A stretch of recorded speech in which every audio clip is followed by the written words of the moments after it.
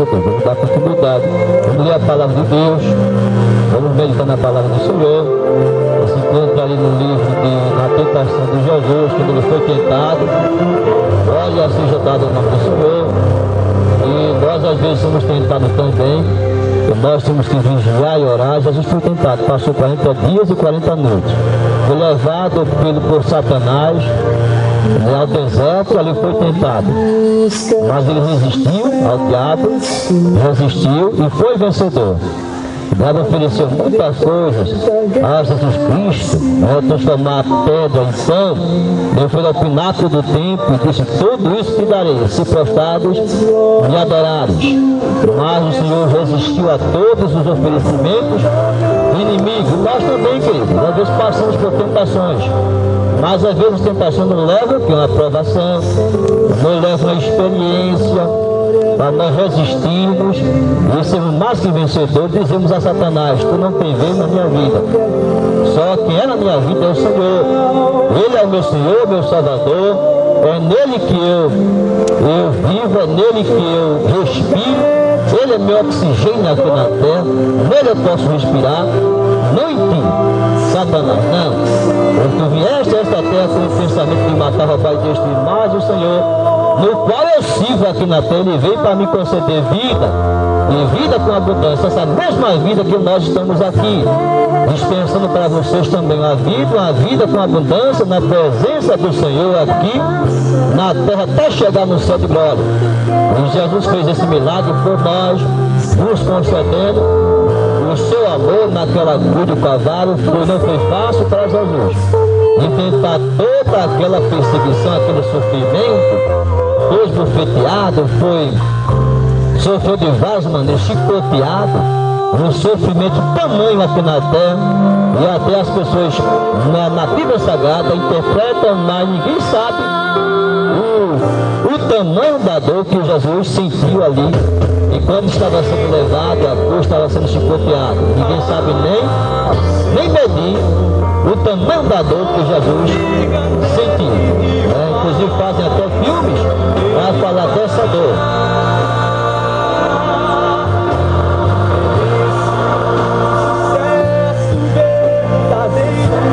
Fazem filme para falar dessa dor. Uma dor tamanho. É, inclusive lá, a crucificação foi aprovada pelos imperadores romanos justamente na época em que Jesus estava sendo é, condenado o pensamento de crucificar Jesus para que se cumprisse as palavras de Deus. Ele veio para nos conceder salvação, vida. Ele é o caminho, a verdade e a vida. Ninguém vem ao Pai a não ser por Jesus Cristo.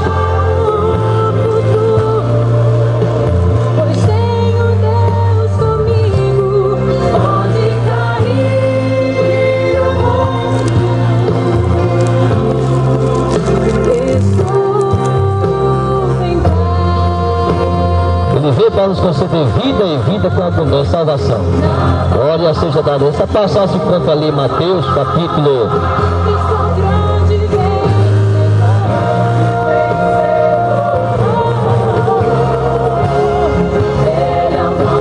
capítulo 4 de Mateus, quando fala da tentação de Jesus, então foi conduzido Jesus pelo Espírito ao deserto para ser tentado pelo diabo. E tendo jejuado 40 dias e 40 noites, depois teve fome. Chegando-se a ele, o tentador disse: Se tu és o filho de Deus, manda que estas pedras se transformem, se tornem pães. Ele, porém, respondeu disse: Está escrito, nem só de pão viverá o homem, mas de toda palavra que sai da boca de Deus. Veja a resposta de Jesus Cristo. Que tentação! Transforma esta pedra em pão e come. Já fazia 40 dias e 40 noites que Jesus estava naquele deserto, foi levado pelo Espírito ao deserto, foi tentado pelo diabo. E lá o diabo diz, transforma esta pedra em pão e come. Imagina a, a dor né, que a fome que Jesus estava sentindo, 40 dias e 40 noites. Para que se cumprisse ali a vontade de Deus na vida de Jesus Cristo, era levado ao deserto pelo Espírito, E ali ele foi tentado, forçado pelo diabo, ele resistiu e chegou a dizer a Satanás. Respondeu a Satanás, então o diabo transportou e ele respondendo, porém respondendo, disse: Está escrito, nem só de pão viverá o homem, mas de toda palavra que sai da boca de Deus.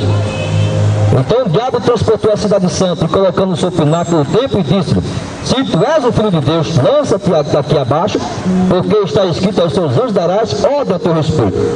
E tomar-te nas mãos para que nunca tropeces em alguma pedra. E ofereceu o pináculo do templo. Mas levou ele ali, mostrou ali o pináculo do templo. E disse-lhe: Se tu és o filho de Deus, Lança-te daqui abaixo, porque está escrito aos seus anjos, dará ordem ao teu respeito. Justamente no livro de Salmos está escrita essa passagem. E tomar-te nas tuas mãos para que nunca tropeces em alguma pedra. Já imaginou aquela multidão de pessoas ali reunidas, esperando esse momento ali? Porque justamente em cima desse pináculo do templo existia ali uma aglomeração de gente ali. Mais abaixo ali, né, vamos supor que fosse uns 45 metros de altura, estava lá Jesus sobre aquele pináculo do templo. Aí o diabo mostrava, todo esse reino aqui, está vendo isso aí tudinho.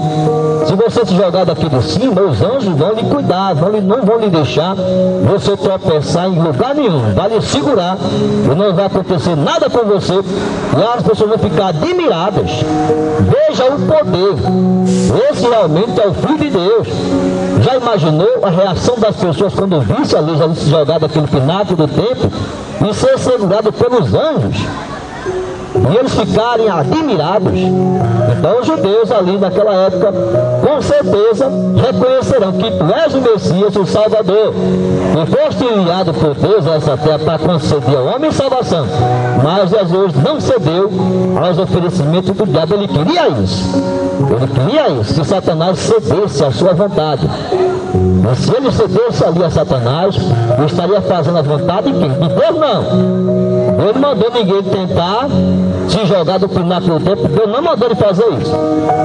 Então ele, como Deus, não faria isso, queridos. De forma nenhuma, se jogar do pináculo do templo e mostrar aquela multidão ali, que ele era o grande ali, que ele era poderoso, que ele não, nada aconteceria com ele, as pessoas ficariam admiradas de Jesus Cristo. Olha, esse é o homem. Esse é o homem de poder aqui na terra. E todos correriam ali para né, correr ali em direção a Jesus ali, como se ele fosse ali alguém poderoso aqui na terra, as pessoas se admirariam. E Jesus não chegou ali para fazer isso, não. Não chegou ali para se mostrar um poderoso alguém, alguém de poder, alguém que pudesse demonstrar uma força, não só física ali, e as pessoas ficassem admiradas com o seu poder, né?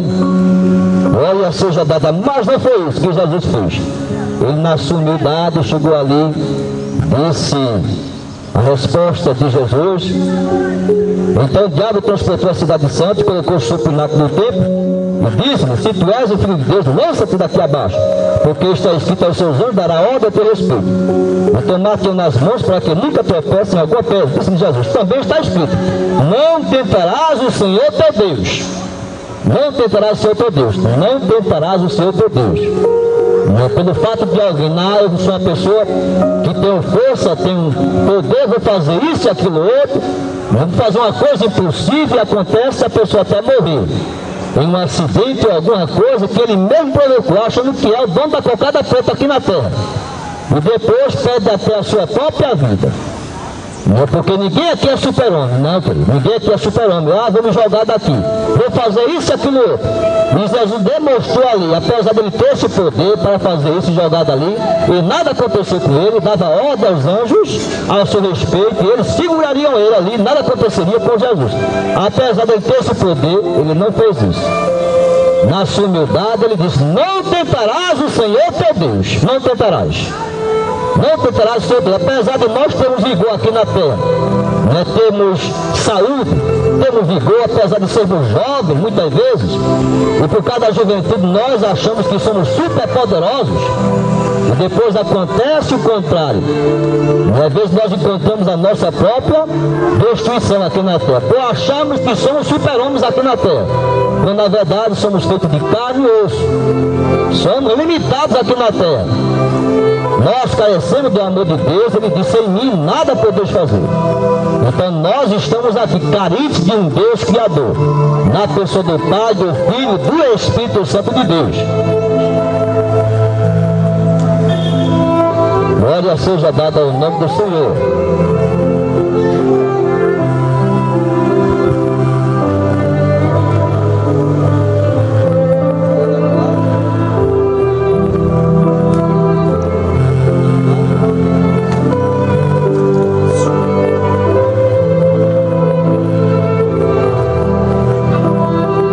Seja dado ao nome do Senhor. Disse, tudo isso te darei, se postares e me adorares. Então disse-lhe Jesus, vai de Satanás, porque está escrito ao Senhor, teu Deus adorarás, e só a ele servirás. Né? E o Satanás ainda lhe ofereceu, disse Jesus, também está escrito, não tentarás o seu teu Deus. Novamente transportou o diabo a um monte muito alto, e mostrou-lhe todos reinos deste mundo. E agora deles. Levou ele mais uma vez para um lugar bem alto, um monte, e mostrou todos os reinos deste mundo. Disse, tudo isso te darei. Se apostados, se me adorares. Se postares, tudo isso te darei. Disse, tudo isso te darei, se postares, me adorares. Então disse Jesus, vai Satanás, porque está escrito ao Senhor teu Deus adorarás só ele servirás. Então Gado deixou e eis que chegaram os anjos e o serviram. Glória seja dada ao nome do Senhor. É assim que nós vemos que Jesus ele foi mais que vencedor. Ele enfrentou todas essas tentações para que nós recebêssemos a salvação e o perdão de Deus. Foi preciso que Jesus passasse por tudo aquilo. Porque se ele tivesse desistido, cedido a Satanás, nós estaríamos condenados aqui na terra, sem esperança de salvação, seríamos consumidos aqui na terra. Seríamos consumidos. Como o Senhor diz, que as misericórdias do Senhor são as causas de não sermos consumidos.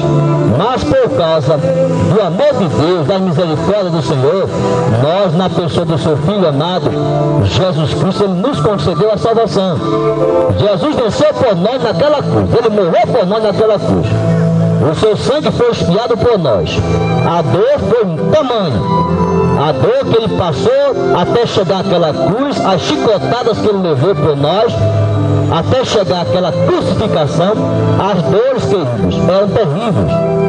Terrível ser crucificado em carne viva ali, aqueles pregos ali nas suas mãos, nos seus pés ali, naquela cruz ali, atravessada ali, diante daquela multidão de pessoas, todos contemplando a morte do Senhor e Salvador Jesus Cristo. Tudo isso com esse pensamento de nos conceder reconciliação com Deus, salvação. Pai, está consumado. Em tuas mãos entrego o meu espírito. Tudo isso para que nós, você e eu recebêssemos o perdão de Deus, o nosso nome fosse escrito no livro da vida. Porque o sacrifício de Jesus valeu para a nossa salvação, nosso perdão aqui na terra. É por isso que nós estamos aqui, queridos, alegres e felizes. Por tudo que o Senhor tem nos concedido.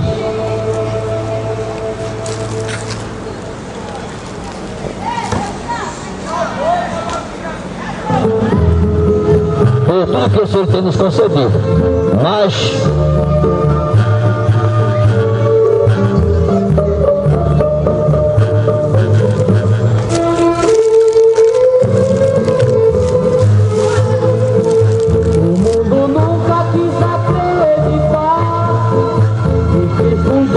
Mas glória seja dada ao Senhor, que tudo isso valeu a pena. Né? E hoje nós estamos assim, alegres e felizes, por nós temos é, o privilégio, o direito né, de aceitarmos Jesus Cristo. Temos o direito, temos essa oportunidade única aqui na terra. E ao ouvirmos falar do Evangelho, como o Senhor diz, a fé vem pelo ouvir ouvir a palavra de Deus. E nós ouvimos as mensagens do Evangelho, nós nos convencemos, né? assim através do seu Santo Espírito, nós aceitamos o Senhor de nossas vidas, o Senhor Salvador. Né? Nós constituímos a nosso lar, nossa família, mas nós precisamos em nosso lar, em nossa família, um Salvador. E esse Salvador é a pessoa do Senhor, o Salvador Jesus. Ninguém aqui na terra pode chegar e dizer, não, não preciso, a minha família pode viver sem esse Deus Salvador. Não se engana, porque enquanto ali na sua, naquela tribulação, não tem certeza, não tem convicção de nada aqui na terra, a pessoa praticamente morta. Espiritualmente é a pessoa morta, não tem prazer na lei do Senhor, não tem alegria da salvação, vive aqui nesse mundo, parece um zumbi. Parece um zumbi andando nessa terra sem nenhuma consciência, sem nenhuma sensibilidade espiritual aqui na terra, como se fosse uma carne, unicamente, simplesmente uma carne, feito de carne ou simplesmente para sentir as coisas aqui da terra. E às vezes interpreta alguma coisa como se fosse o amor.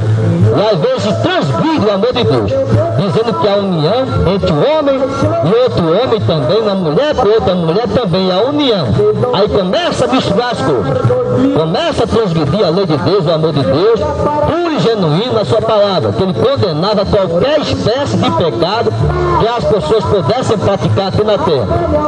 Jesus era bem claro naquela época, apesar de não falar alguns, né, algumas passagens de alguns discípulos e apóstolos que deram seguimento ao Evangelho falaram. Não, ele fala unicamente numa mensagem cristocêntrica, ele ser o Salvador, ele ser o Messias, porque ele estava falando para o seu povo judeu naquela época. Mas ele chega a estender o Evangelho para toda a humanidade, ide pelo mundo, e pregar o Evangelho a toda criatura, aquele que fez será salvo. Então o Evangelho se estendeu a toda a humanidade, independente da pessoa ser jovem, ser adulto, ser velho, não. O Senhor não faz acepção de idade alguma, nem de pessoa, nem de raça, nem de credo, contanto que você, no seu coração, diga, eu preciso, necessito desse Deus, eu preciso desse Deus. Sem Deus eu não sou nada aqui na terra. Quem sou eu sem Deus? Quem sou eu? Apenas uma formação humana de carne e osso? Somente isso não. Eu preciso de um Deus Salvador. E você tem que perseverar, tem que insistir, querido. Não pode aceitar a sua constituição simplesmente humana, não. Feito de carne e osso, eu sou de carne e osso, eu vou morrer, vou perecer, vou descer a terra e depois acabou-se. Não. A nossa vida tem uma continuação. Seja para nós morarmos no céu de glória, seja para nós sermos condenados e morarmos no inferno, porque rejeitamos ao Senhor Salvador Jesus Cristo. Nós temos uma constituição humana, mas também espiritual, sem a qual, sem perseverar, sem santificação, ninguém verá o Senhor, como diz a Escritura Sagrada. Não é?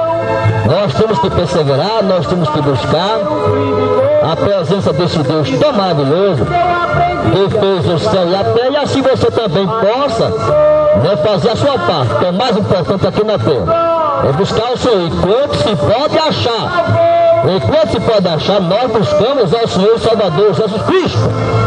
A nossa vida aqui é passageira, filho. Nós estamos de passagem. Um dia nós vamos partir. Nós somos chamados de peregrinos. E estamos peregrinando nessa terra. Estamos peregrinando nessa terra. Um dia essa terra vai findar. Vai findar. Vai chegar o dia Jesus disse que ele voltaria estaria consumado toda a obra da salvação, toda, toda o que ele tinha planejado, Deus tinha planejado na sua criação, para que nós andássemos em comunhão com ele na sua presença até chegarmos ali, na sua glória. Essa era a finalidade da Constituição, da humanidade, da terra, de todo o universo aqui, que nós fazemos parte dessa terrinha, que é feito de água, que é feito de terra, que é feito de oxigênio, mas nós fazemos parte dessa história. Da criação de Deus, de um Salvador Criador, do universo, nós somos criados a sua imagem e semelhança, para que nós andássemos em comunhão com Deus. E pudéssemos morar com Ele na glória. Ele disse, vou preparar lugar.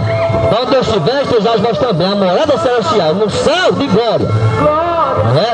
Nós temos que desapegarmos, queridos, da nossa mentalidade, a nossa visão, a nossa natureza, queridos, humana às vezes, nos prenda a essa terra, como se essa terra fosse a coisa mais importante, né? como se essa terra fosse a coisa mais importante em nossas vidas. Nós sabemos que nós temos que buscar no primeiro reino de Deus e a sua justiça. Ele diz, passarão os céus e a terra, mas as minhas palavras não de passar. Então tudo isso é passageiro. Tudo isso vai passar, mas o que vai restar em nossas vidas é a presença de um Deus Salvador. É esse que vai marcar a nossa existência lá no céu, na presença do Senhor, que marca a nossa vida, sela a nossa vida com o seu Santo Espírito, e nós passamos a ser, termos vida, uma vida espiritual, que no passado nós não tínhamos. Tínhamos apenas uma vida humana, uma vida constituída apenas de carne e osso de carne, osso e alma, somente isso. Mas o espiritual, que é o mais importante, nós temos uma vida espiritual, cadê? E muitas vezes as pessoas sofrem e padecem. Aflição, sofrimento, dor, não consegue entender o porquê, o motivo de estar aqui nessa terra. E entra numa angústia, entra numa depressão terrível, porque não encontra uma razão de viver. Mas quando o homem tem encontro com o Senhor Salvador Jesus Cristo, toda essa dúvida cai por terra.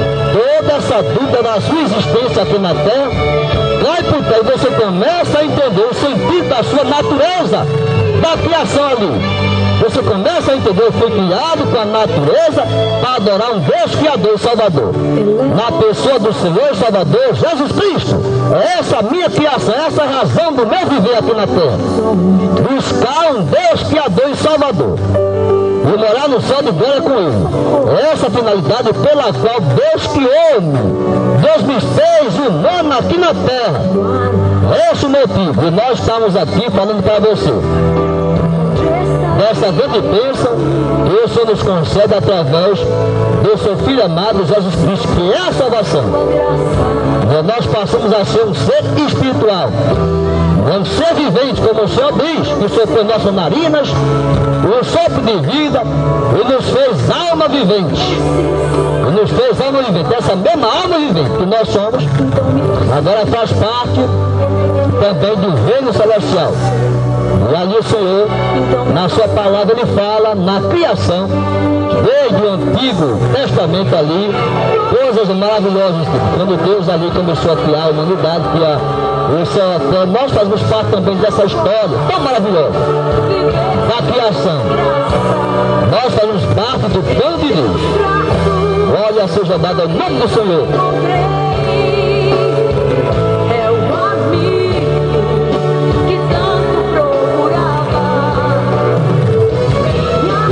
Começa falar no princípio, Deus criou Deus os céus e a terra.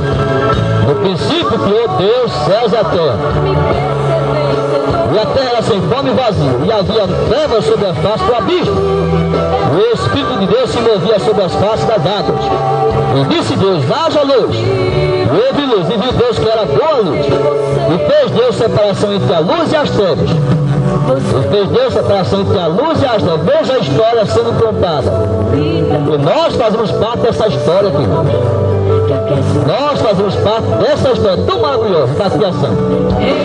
Porque depois que Deus criou todo o céu, a terra, o universo, as, as árvores, os animais, depois de ter criado a terra, a água, depois de ter criado tudo, é que ele fez o homem. Como ele diz, a sua imagem e semelhança. E disse Deus, haja luz, houve luz, e viu, viu Deus que era boa luz, e fez Deus separação entre a luz e as trevas, e Deus chamou a luz dia, e as trevas chamou noite. E foi a tarde e a manhã do dia primeiro. E disse Deus, haja uma expansão no meio das águas, e haja separação entre águas e águas. Fez Deus a expansão e fez separação entre as águas que estavam debaixo da expansão e as águas que estavam sobre a expansão. E assim foi, Deus começou a criar. A água, a terra, tudo, tudo. Até chegar a criação do homem e a formação da mulher, a formação do homem e da mulher. Ele diz, e a criação dos seres viventes. Depois criou os animais, as grandes baleias, e todo o resto da avião vivente com as águas abundantemente produziram, conformações especiais e animais foram criados por Deus. O único pensamento de toda essa criação foi servir, ser para nosso serviço aqui na terra. Porque quando ele colou, colocou Adão no jardim do Éden, ele disse, dominai, dominai a terra, dominar a terra. Então, tudo estava debaixo né, da obediência de um Deus Criador. E Adão estava também debaixo dessa obediência de Deus. E ele disse: dominar a terra. Dominar a terra. Nós estaríamos aqui, queridos. Né, com a bênção desse domínio aqui, até chegarmos. Hoje estamos aí vivendo dias né, difíceis, né? Onde nós não podemos até, com essa palavra de Deus, falar em domínio e às vezes existe o contrário, né? nós somos dominados pelo inimigo de nossas almas. Às vezes o homem é dominado, é levado a pecar, é levado à sua morte e destruição, se torna uma pessoa propensa a pecar, a fazer o mal aqui na terra. Tudo isso porque ele é dominado. Mas dominado por quê? O único ser que existiu ali, desde a criação ali, ele se rebelou contra Deus, Satanás levou uma terça parte dos anjos juntamente com ele para o quê? Qual é o objetivo de Satanás? Os seus anjos, a miríade dos anjos ali, o dos anjos. Qual é o objetivo de Satanás? Foi lançado à terra, foi lançado à terra por causa da sua rebelião contra Deus, contra Deus, queria ser maior do que Deus, e ele veio com esse pensamento. Quando chegou ali no jardim do Éden, o que foi que ele encontrou? Adão e Eva viviam ali em comunhão com Deus, fazia a vontade do Senhor, obedecia a Ele. Quando o Senhor aparecia ali na criação do dia, eles estavam ali, muito bem. Adão e Eva, vocês estão aqui na minha presença, glória seja dada ao nome do Senhor. Estava ali, falando com o Senhor, conversando com Ele, comunhão com Deus, na viração do dia, mas com o passar de um certo tempo, Satanás viu tudo aquilo ali. E ele ficou ali inveja, com inveja, queridos, da nossa comunhão com Deus. Ele viu homem em comunhão com Deus, Eva em comunhão com Deus, havia ali, Deus disse, cresceis e multiplicados. E colocou Adão e Eva no jardim com tudo